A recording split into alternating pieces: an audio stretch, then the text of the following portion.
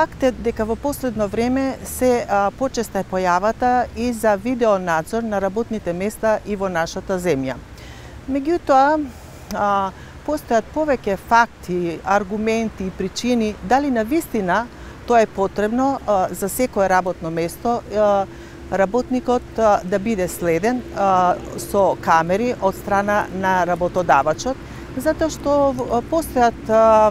повеќе алатки и механизми кои што се применуваат со цел да може да се следи работникот во однос на извршување на работите и работните задачи кои што се предвидени согласно описот и пописот на работните места и кои се бараат од работникот да оствари одредени резултати во одреден временски период. Меѓутоа, постојат и оправдани причини кога тоа е потребно, како што е, например, од аспект на заштита, на безбедноста на работникот, понатаму за заштита на здравјето на работникот. Тука ќе ги споменам работните места во банка, во продавница. Меѓутоа, кога се поставуваат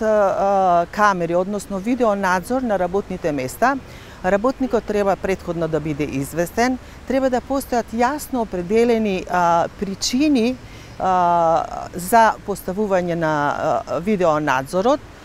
понатаму треба да се води сметка за заштита на личните податоци на работникот, односно видеонадзорот не треба да се поставува во гардероба, тоалети и така натаму. значи, доколку постојат јасно определени причини за кои што работникот предходно треба да биде известен, во тој случај на одредени работни места каде што споменав од кои причини би можело да се постават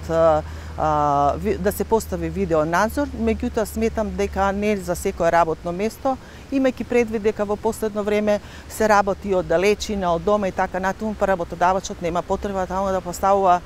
видео надзор за да го следи работникот во извршување на своите работи и работни задачи.